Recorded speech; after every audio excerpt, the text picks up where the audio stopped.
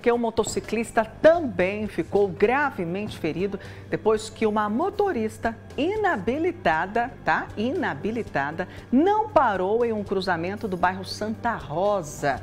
Ah lá, atingiu em cheio. É isso, Taninha? Conta pra gente, por favor.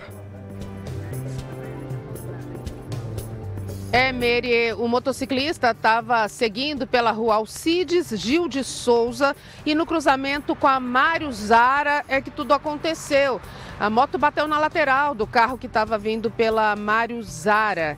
A polícia que esteve no local verificou que a motorista, uma mulher de 56 anos, estava sem habilitação, é inabilitada.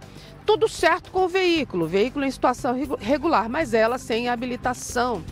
É, o motociclista, como você disse, teve ferimentos graves. Ali é uma situação complicada porque moradores ali do trecho contaram que a sinalização está deficiente, que acidentes são frequentes e neste acidente aí, por pouco o carro não atinge um muro ali. Foi um barulhão e aí o, o dono da residência aí, né, próxima a esse acidente, contou que estava estudando e foi um susto enorme, minha amiga. Bom, nós solicitamos um posicionamento da prefeitura sobre esse local, já que tem queixas sobre a sinalização, não tem a sinalização apagada no chão e não tem sinalização vertical. Nós estamos aguardando esse posicionamento, Mary.